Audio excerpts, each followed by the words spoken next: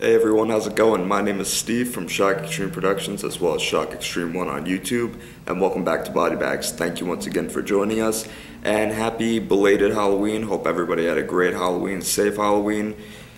I sure as hell did. Um, and I'm recording this in between now and actually going to FearCon, so I have to speed this up a little bit, but I believe this is week 60 right now in Body Bags, and the theme for this week is Halloween week.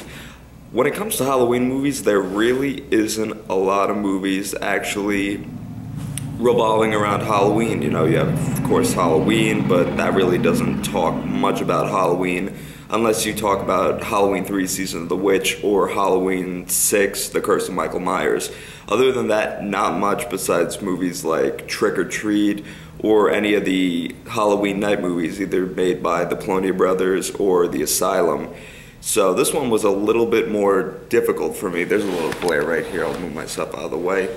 This was a little bit harder for me because there really isn't that much. So I had to dig deep and figure out what there was that actually takes place on Halloween. Then I found one that I actually seen years ago from my youth. Uh, I believe this is one that it's not that great of a movie, but it has some sentimental uh, value to me because it was given to me at a time where yeah, I'm not going to go into it, but let's just say I just had surgery then and it kind of made me feel a little bit better. This is actually one of R.L. Stine's stories, surprisingly not a Goosebumps story, but this one is The Haunting Hour. Um, subtitle is Don't Think, Don't Think About It, that's what it is. Uh, the Haunting Hour, Don't Think About It from 2007. This one was part of the Haunting Hour TV series produced by R.L. Stine, uh, but this was the most uh, famous out of them, I believe, because it starred um, Emily Osment. Uh, this one is basically about a girl and her family. They move to town. The girl's kind of an outcast because she is, you know, a goth. She really doesn't like to uh, socialize with too many people.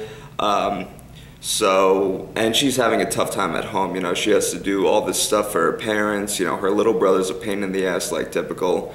So one day she goes for a walk and finds this Halloween store, and the owner, played by Tobin Bell, is basically telling her all this stuff that happens to her that she already knows about. So she's already getting like a little freaked out by this one guy. She said he tells her, you know, I noticed you like to read.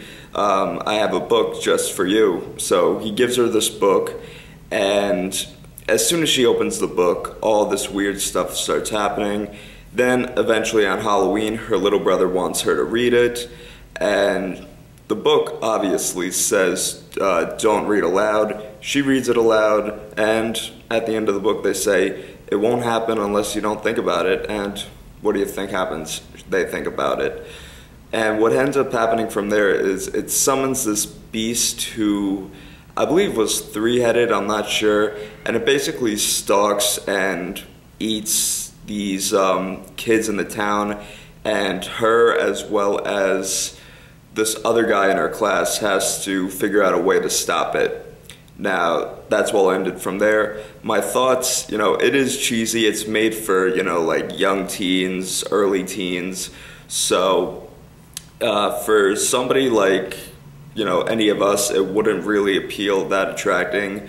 But from when I've seen it, I usually still watch it every once in a while. So, it's not too bad. You know, the acting, you know, they're professional actors, you know, mainly Disney Channel actors, but not too bad overall especially for Tobin Bell being uh, the store owner. Uh, let's see, the effects, eh, you get a little slime spit action, nothing too big there, so you can't really go from there. Story was actually pretty cool. I did dig the story. Um, if I had to give it a rating, I would probably rate this at at least a 7 out of 10. Not too bad. I'd give it a watch. It's on DVD. I think they show it on TV sometimes. But if you can find it, definitely give it a look. So, alright guys, that was my review for you guys today. Hope you all enjoyed. Uh, sorry I had to speed it up a little bit, but I have to get ready for FearCon. So, if you like these reviews, definitely subscribe to Body Bags, like, comment, share, whatever you guys do. If you like my reviews in particular, definitely go to my channel, Shock Extreme 1. Link will be in the description below. Uh, once again, my name is Steve from Shock Extreme Productions, and until next time, see you all later.